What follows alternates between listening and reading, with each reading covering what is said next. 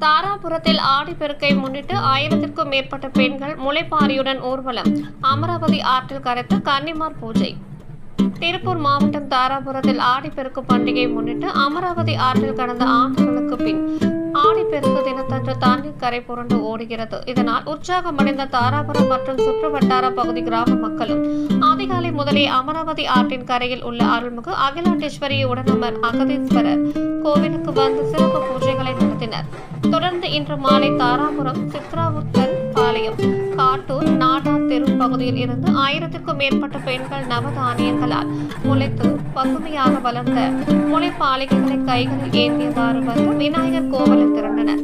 தொடர்ந்து அங்கிருந்து மேலத்தாளங்கள் ரம் வாத்தியங்கள் முழங்க ஆட்டம் பாட்டங்களுடன் ஆயிரத்திற்கும் மேற்பட்ட பெண்கள் ஊர்வலமாக சின்னக்கடை வீதி பெரியக்கடை வீதி எண்ணம்பேட்டை வீதி வழியாக ஐந்து சாலை சந்திப்பை அடைந்து அங்கிருந்து அமராவதி ஆற்றில் சென்றடைந்தனர் ஆற்றங்கரையில் ஆற்று மணலால் ஐந்து கன்னிமார் ஒரு வாரங்களை செய்து வைத்து மஞ்சள் குங்குமம் தேங்காய் பழத்துடன் தங்கள் அணிந்திருந்த தங்க நகைகளையும் கன்னிமார் சுவாமிகளுக்கு அணிவித்து சிறப்பு பூஜை நடத்தினர். பெண்கள் நடத்திய பூஜையின் போது மங்களகரமான மாங்கல்ய கயிறுகளும் வைத்து பூஜை நடத்தி தங்கள் குடும்பத்தினருடன் அமராவதி ஆற்றுக்கு கைகளில் ஊர்வலமாக எடுத்து வந்த முறைப்பாளிகைகளை தங்களது புகுந்த வீடும் பிறந்த வீடும் சிறந்த சிறப்புடன் வாழ வேண்டும்.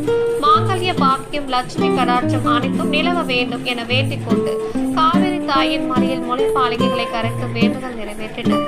பின்னர் உறவினர்களுடன் அகஸ்தீஸ்வரர் ஆலயத்துக்கு வருகை தந்த பயபக்தியுடன் சாமி கும்பிட்டு உற்சாகத்துடன் வீடு திரும்பினர்.